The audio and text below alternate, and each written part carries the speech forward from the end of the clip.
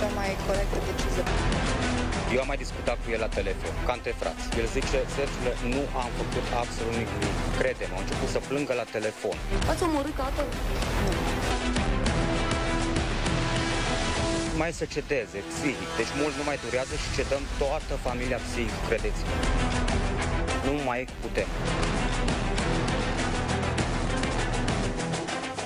Continuăm seria dezvăluirilor din ancheta asasinatului de la Arad. După ce au primit o parte din bani presupuși criminali, au început să se certe, iar amenințările au început să curgă. În tot acest timp, fica milionarului, cea care ar fi creierul operațiunii, depunea toate eforturile pentru a vinde ferma de somni africani a tatălui său, pe care a cerut, atenție, 2,5 milioane de euro.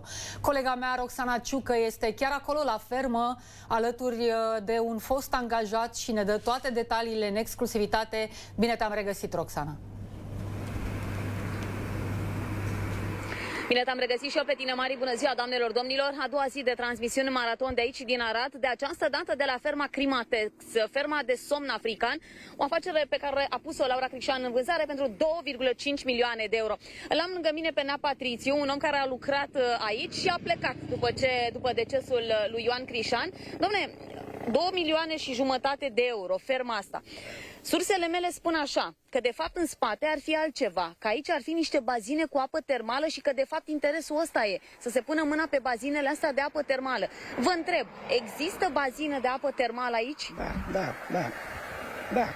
Deci sunt bazine sunt de apă bazine, termală. da, sunt bazine de apă termală de când s-a făcut uh, săpături aici și atunci a fost folosite pentru topirea câine pe Și câte bazine, astfel de bazine Ei, sunt? Sunt, sunt o grămadă în orice caz, care, dar numai că câteva sunt uh, patru, sunt care cinci, sunt care sunt folosite, restul sunt toate goale. Bun. Care e situația în momentul ăsta cu ferma? A fost pusă în vânzare Nu știu, nu pot să sunt, dar am auzit că e pusă în vânzare. Și și angajații mai sunt sau au plecat? nu mai sunt numai care sunt la poartă și atâta, să nu și nu. Deci bate vântul. Bate vântul, da. Doamne, îl, cunoașteți, îl cunoșteați pe Ioan Crișan, că vorbea, L-am va fost și cunoscut, L-am cunoscut, da, și a fost un bărbat foarte de treabă și ăsta și a avut treabă. Nu, a, a, a ținut cu muncitorii și ăsta, dar îmi pare rău că s-a întâmplat chestia asta cu el. Da, ați auzit acum că fica e suspectă că i-a Nu, ce filat mi-a el. spus cineva, mi-a vorbit cineva ieri și ăsta și cu ăsta, cu colegul ăsta care... Dar pe Laura Crișan ați văzut-o pe aici, pe la fermă? Păi mai vin, da, mai vin în vizită, mai vin pe aici și... Da. Când ați văzut-o pe aici ultima dată? Lucrează nepotul lui, lucrează aici, lui domnul Crișan, el e și șeful aici, nepotul lui domnul Crișan. Mhm. Da, și doamna și mi se pare că și fata, dacă nu mă înșel.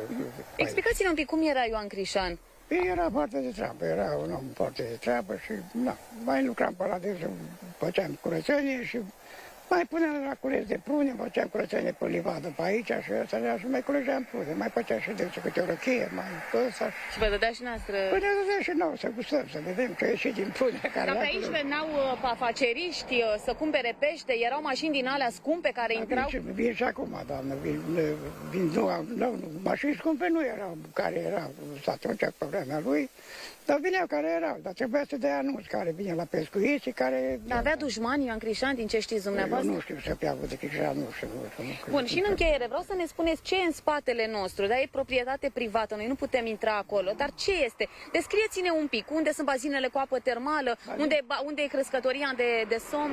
Bazinele de apă termală sunt spate la birourile, deci pe terenul care e acolo. în Deci, spate. haideți un pic, haideți un pic Da. așa cu noi.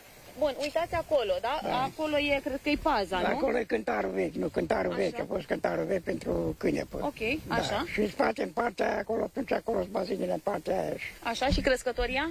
crescătoria tot acolo lângă bazine. Deci tot acolo. Tot și pe ce suprafață se întinde Crimatexul ăsta? Climatexul are cam vreo, cam așa, vreo 10 hectare. 10 are. hectare. Da. Procurorii au venit și au făcut percheziții aici, acum Păi câțiva ani? a fost ceva, pe aici a fost ceva de la poliție și la ăsta și na. Și e adevărat că au căutat și în bazinele cu apă termală? Păi e probabil că da, caută și pe acolo și ăsta. Mulțumesc tare frumos, Nea Patrițiu, pentru toată această corespondență. Te rugăm să pleci că... Vă mulțumesc tare, mulțumesc tare frumos. Așadar, stimați telespectatori, Crimatexul, Nea Petre- Patriciu, Patrițiu este un fost uh, angajat, a lucrat ani de zile, iată, la ferma lui uh, Ioan Crișan și spunea dumnealui că după ce uh, Ioan Crișan a decedat, acesta a uh, plecat pentru că nu i s-a mai părut de încredere. Rămâneți în continuare alături de noi, ne întoarcem cu alte informații în jurnalele viitoare.